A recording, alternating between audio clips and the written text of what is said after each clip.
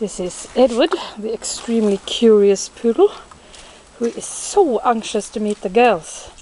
He hasn't been allowed to meet them yet, but he has barked so much he's scared them into their cage. Uh, one of them's back out again. Do you want to go over and meet them, Eddie? Eddie, come. Come on, come. Oh, oh, oh, oh, oh. Don't scare them. Nah, oh, you scared her back into the house.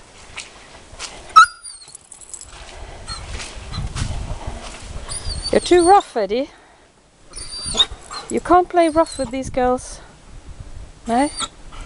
Eddie, you can't play rough with these girls. Where did they go? Where did they go? Did they go into their little house? Let's open the door and see if we can see them. Ooh, there are two little chicken bums. Two little chicken bums. Yes. Have you scared them? Poor little chickens. Poor little chickens. Let's see. Hello, chickens. Oh, hello. Oh, not you, Eddie. You'll scare them to death. Oh, look what they put in here for us. Two eggs.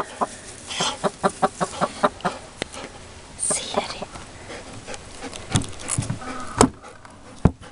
Look, Eddie. Two. Oh, do you want to eat them like that? With the shell and everything? Come, come. Oh, look at those two nice eggs. What good chickens they are. There's one for Eddie and one for Mummy. You, chickens. Yes. Hello, little girl. Hello.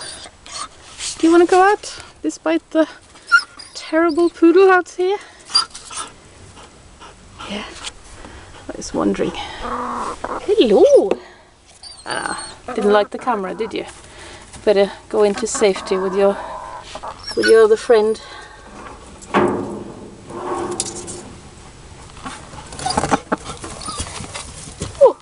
like them.